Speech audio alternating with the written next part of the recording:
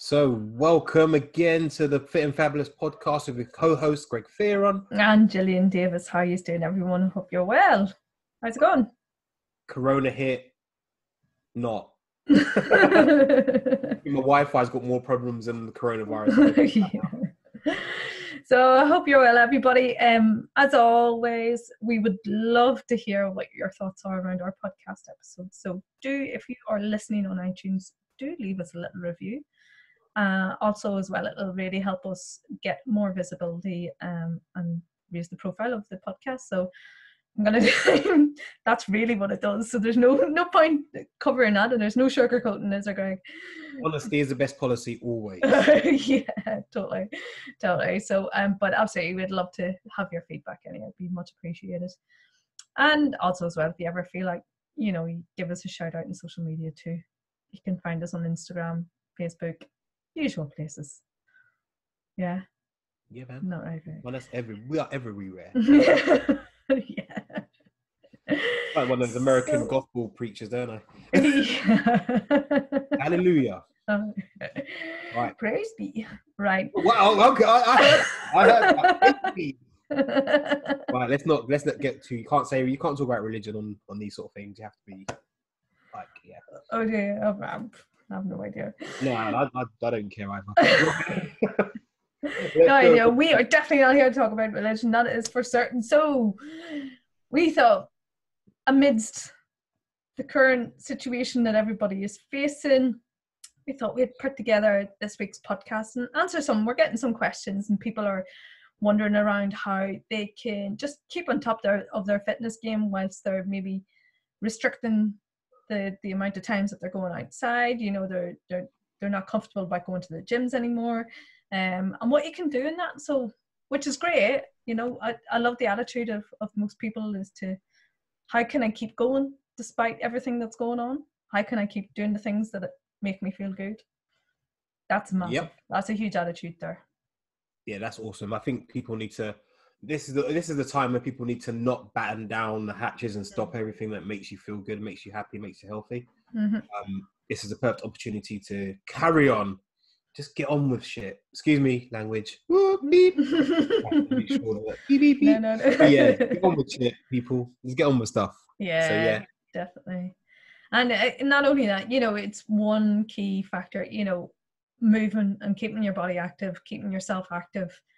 Obviously, if you're healthy and, and fit and strong to do so, then yeah, you know, keep doing that there. It's just gonna one, keep your mental health, keep your brain in check, just help you manage the emotions that may be flying around. It's it's a very up and down situation that we find ourselves in and all sorts of you know, getting bombarded from all directions, aren't we, really, about the rights and wrongs and who's Yeah. the latest expert bit- something. I feel like if I see more Boris or Trump again, I'm gonna. it's mental. I keep seeing them. It's like stereo vision. So yeah, Yeah. keep or- calm and work out, people. Keep calm and work. Yeah. People are taking on Trump's le- expert level of I'm really into this stuff. the, the, the Trump version is, I'm gonna hand over to Mike Pence. yeah, He's gonna sort it all out. Bye. yeah, Brilliant. Totally. All right. So So, so keep people on track? Yeah, so we're going to do this podcast episode. It's just how to just stay fit, keep yourself fit stay, once you're at home um, in the midst of the corona chaos. So, and that's what we're going to crack into today. So, do you want to fire away, Greg? Do you want to start? Oh, am I going first? Okay. cool. Oh, or do you want me to go first? No, no, no. I'll go first. I'll go Okay. first. Yeah. Okay. the floor okay, is so- yours. So tip number one, people. Um, for me, a big one that I see people doing a lot of on Instagram and YouTube is all these isolation exercises. It's like, yeah, get a booty pump, and you know, when if time is precious and your dog is trying to jump on your back while you're doing your exercise, I would spend my time doing something much more important than just doing glute bridges all the time or just trying doing like single leg raises. Um, so yeah, go easy on the isolation stuff. I'd go as far as to say, do the isolation stuff if you really want to at the end of your workout, not at the beginning, because then you're not fatiguing that muscle group that you need for something else.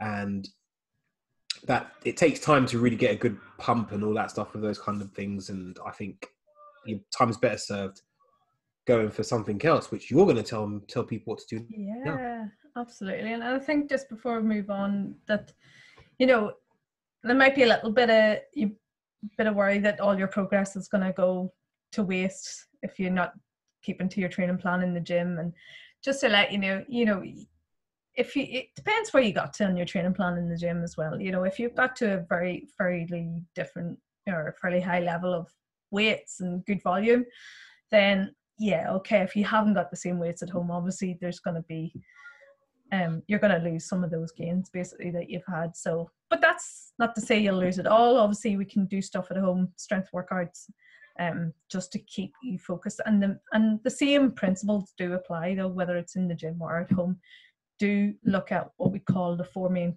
compound movements.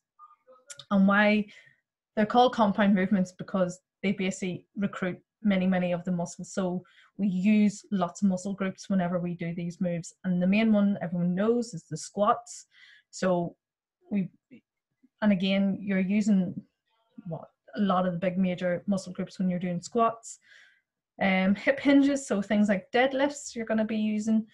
Um, and push and pull exercises. So your push and exercise things like chest press, or you know, you're doing not chest press because that'll be in the gym. you're doing push ups. I need to switch my own head. so doing push ups, or even doing rows as well. That's your pull exercises, or maybe you've got a pull up bar that you can stick across your doorway as well. So get some pull ups going. There you go. And if you can crack and use them and do those exercises, hmm. um, then you will really um, just keep a lot of keep your fitness, keep your strength there. So, um, and really help kind of manage your your training. So, awesome. So, number one, just to recap for people, don't go easy on the isolation stuff. Number mm-hmm. two, big muscle groups, compound movements.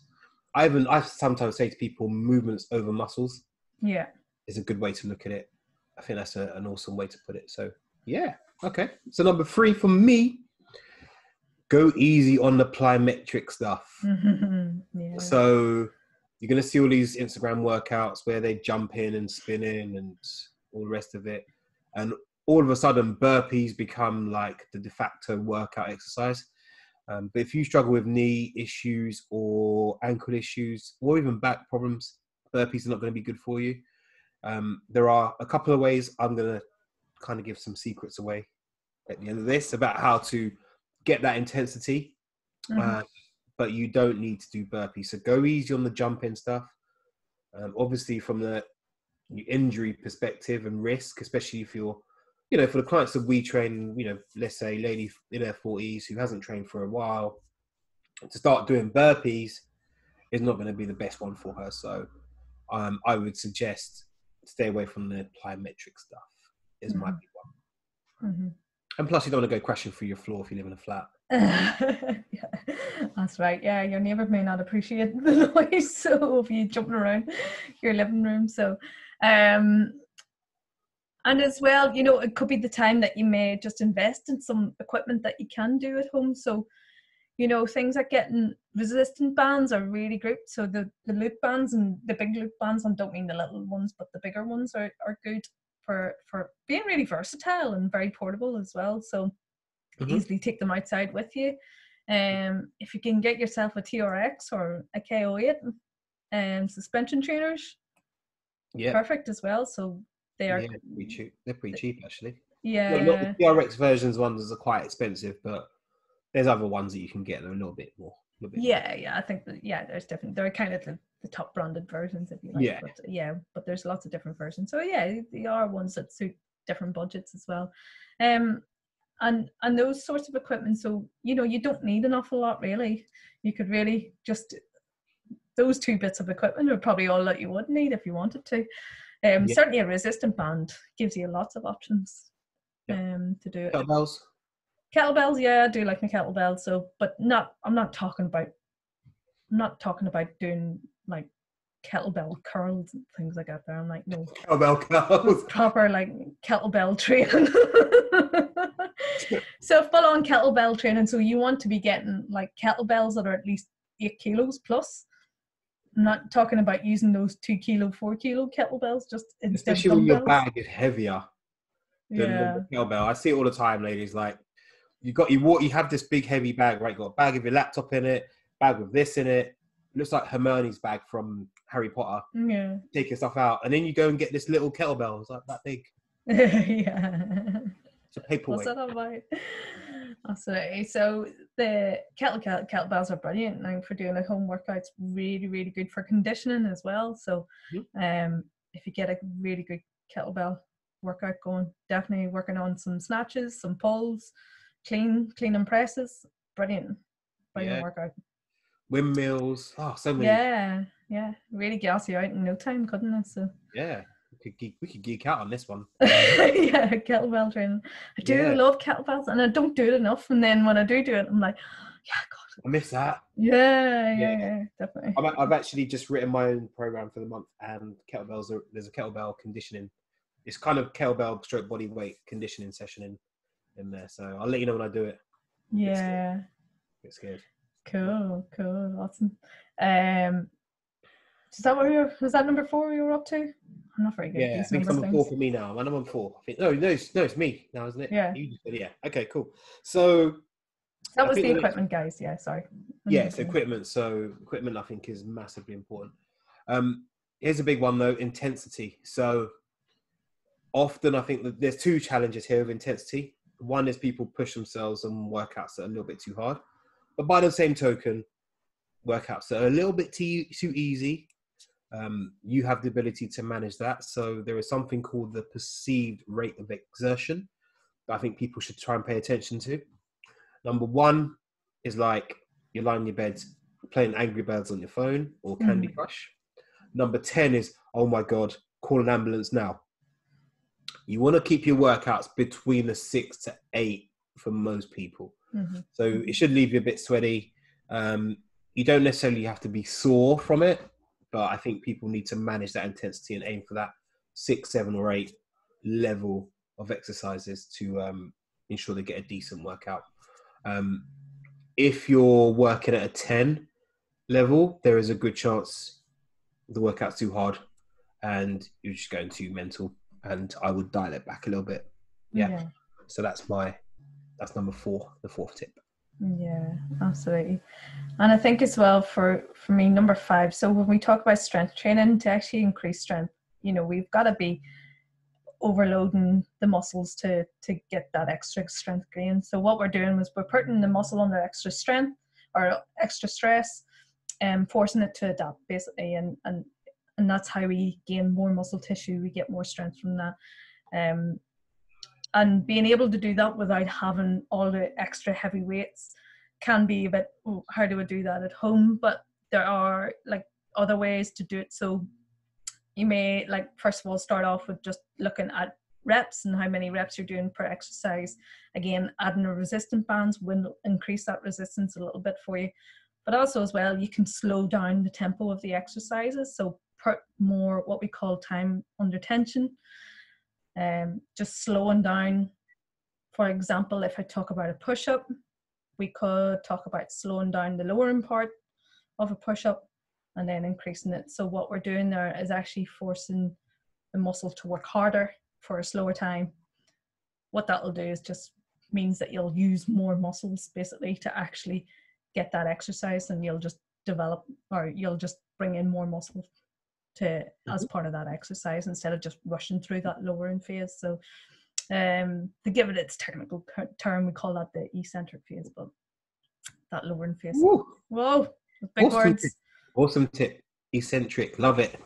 Yeah. So yeah, so just slowing the tempo down and just putting your muscles under a bit more tension, what they call time under tension. So, and that's what we do in yoga as well, and that's that's how that can develop strength there as well. So Awesome.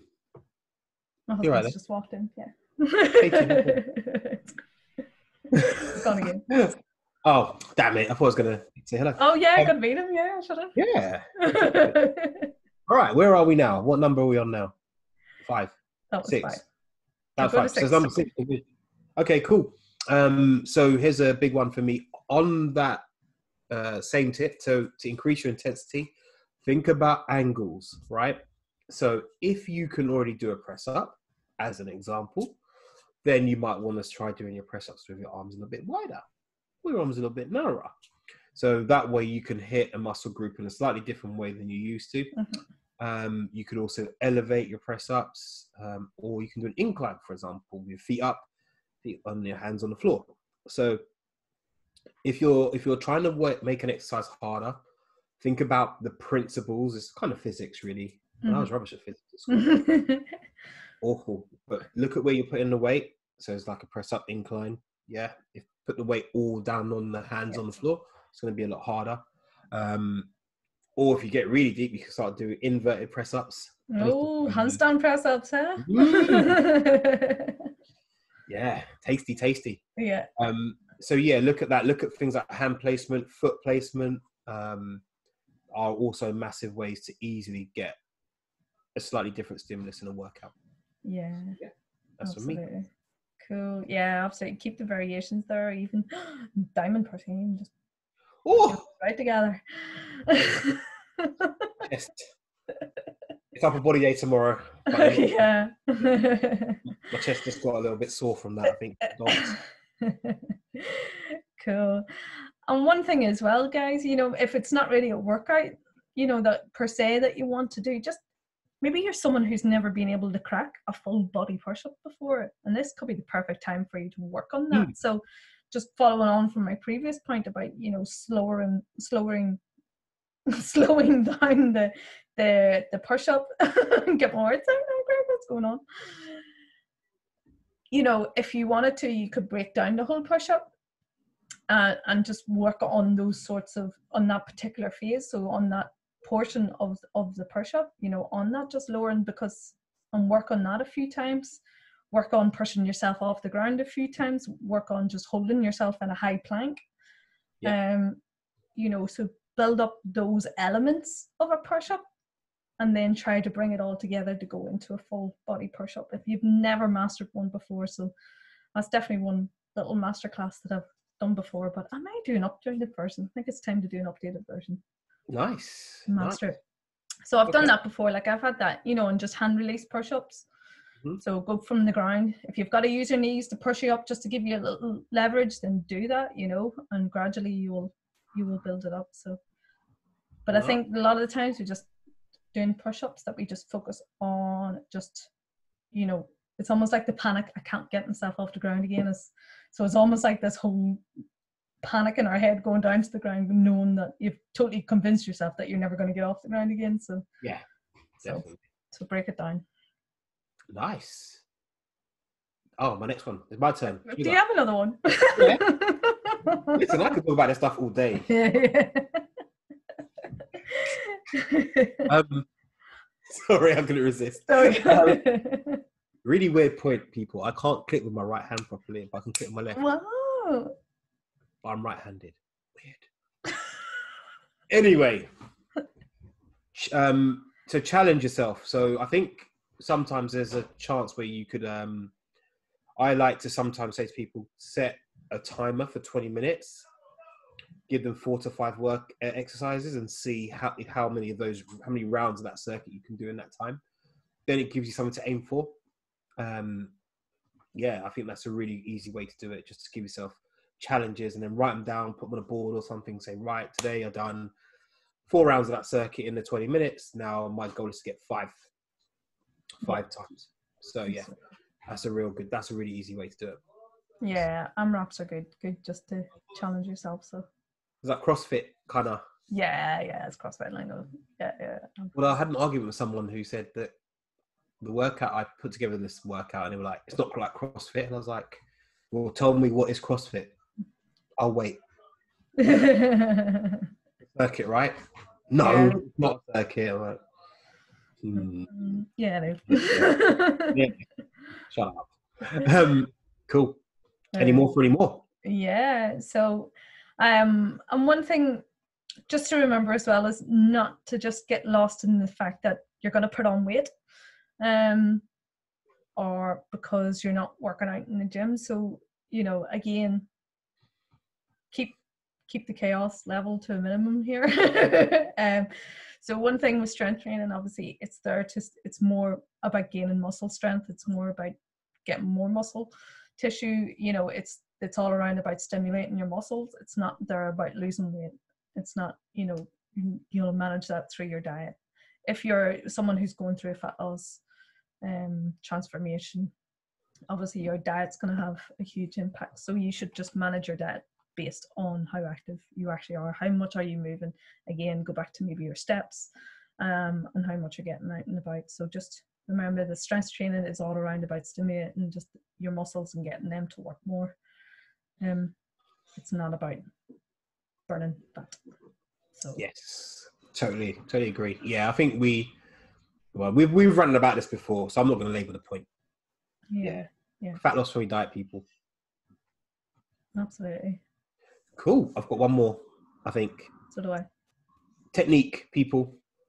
Technique is just as important whether you're in the gym, in a park, at home, but really make sure your technique. And when you dial in your technique, the actual exercise becomes more effective, even the simple ones like planks and stuff. They all become better if your technique is on point. Mm-hmm. So I mm-hmm. think the big one for most people is um, to, yeah, to really go in and really dial in the technique and don't worry so much. If you can't do a certain exercise because it's too hard, find a regression. You don't always have to progress. Sometimes I think a regression done properly is way better than some funky variation that actually you butcher um, is a big one for me. Absolutely. You know, if you're someone who can't do, go back to using push ups again, everyone knows what it is. So if you can't do an incline, if you can't do push ups on the ground, if you can't, if you can only do them on the knees, if you can only do them on a tabletop, maybe you can only do push ups against the wall. You know, that's that's the degree of where you can still do a push up. That's you know, mm. that's down to you. you it's never a, I can't do anything. There's no point there's always a way. There's always oh, something you can. always a way. Yeah, always, always something you can do. Absolutely, but that wasn't my last point. I think we're on point ten now. I'm gonna guess that we're on point ten. Yeah. well, one thing that we can do is not to forget about warming up and not to forget about mobility as well, guys, when doing this. So it's brilliant, you know, be at home doing workouts, doing lunges, squats, you know, your push ups, your pull ups. But remember that you to keep mobility in there as well. So work on just keeping your hips mobile, keeping your shoulders mobile, um, and all the other joints as well. So put yourself through um, a good mobility routine, even if you're not just going to train that day, just still do it to keep your body ticking over, particularly if mm. you're maybe not moving and getting out about as much. You know, it would really help just to keep your joints fluid and joint health at the end of the day. It's it's all part of the health. So um, yeah. and keep you in tip top condition. So. Yeah, exactly that. Definitely, I'll be doing some animal flows and mm, yeah, yeah. stuff. Yeah, just to keep things ticking Greg's over. going to be bear crawling all over his house. yeah, bear crawls, crab crawls, chameleon crawls. Chameleons are hard. Which one's that? I don't know that one. Oh lord, I've, I've got a video. I'll, oh right, okay. I put it on video. It's it's hard though. You almost have to you go down and you have to spring up from the floor. Oh, yeah, evil, evil, evil, evil. Yeah, yeah, fun, but fun, crazy, crazy, crazy. So, and yeah. as well, guys, you know, it, it is a case that you know we're not we're not totally restricted to our house. We can still get out and about. So, you know, do maybe get down to your local park that has some equipment there as well. You know, yeah. definitely. Yeah. I was down this morning to the local park. They have a pull-up station, so I just thought I'll, I'll see what I can do. I did too. it didn't happen because not on video. Oh right. it's like that then, is it? Right. Yeah. That's, I didn't try and take a selfie while hanging on. Yeah. Check me. yeah, yeah. Look me in one arm and everything. hanging on for dear life. Oh, awesome. Awesome. So, yeah, yeah. given people 10 tips now, haven't we? We've, oh, yeah. That, awesome. To think we were going to do three. yeah, you've got to give people the value, right? Yeah, absolutely. Absolutely. So, so guys, you know, really um, hope that does give you enough information just to keep yourselves going. Um, Well, you've got a free plan, haven't you? So why don't you? If you send me the link over, and I can put it in the show notes and stuff. Yeah, absolutely, absolutely. So I do have a two-week plan. Um, that's just a part of my group programs that I can do. Um, that I can send you out. So I've got a nice little PDF document for anyone. Um, just to work through the plan, and they Yeah, can do my, that. my lot will be if if it goes to lockdown, if it ever goes to lockdown, I've also got some tasty workouts Yeah. for them ready, ready. Well, fact, let's do live workouts. Well, I, I always had have them in there because I know as much as you know people want to do the gym workouts, but they like to have them as a backup just in case Yeah. they can't get to the gym or something else has mm. happened or they've got to go away all of a sudden. You know that they want to feel that Hotels and all that it's just keeping keeping the routine, isn't it, of being able to Yeah. just work out. Even if it's not part of the actual plan, at least it's a workout and you've done something. So definitely, definitely yeah, awesome. cool. All right, Okay, everyone. Good people, Yeah. do all those things we just told you to do. Coronavirus would be nothing. Keep your gains. Keep your gains. Till next time, everyone. Take care. Take care. See you later. Yeah.